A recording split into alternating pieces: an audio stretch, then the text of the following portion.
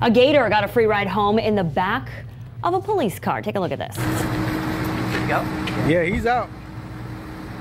Go, buddy. yeah, yeah. Do you want that in the back of your car? No, I'd be like going, buddy. yes. So it's a tiny gator who hitched a ride in the back of a still Hillsborough bite. They still patrol bite. car. Exactly.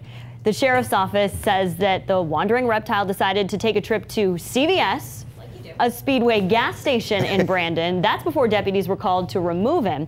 He was given a first class ride back to the pond. Wow. You can't tell how big the little guy was from that video. It looks really big, but he's actually pretty small. This is a photo of the deputies getting it ready for its ride back to that pond. But like you said, it doesn't matter. No, it doesn't matter. That, I mean, they Little bite. biter, still big I mean, they they they can take fingers. I don't care how big. It's just, but you don't.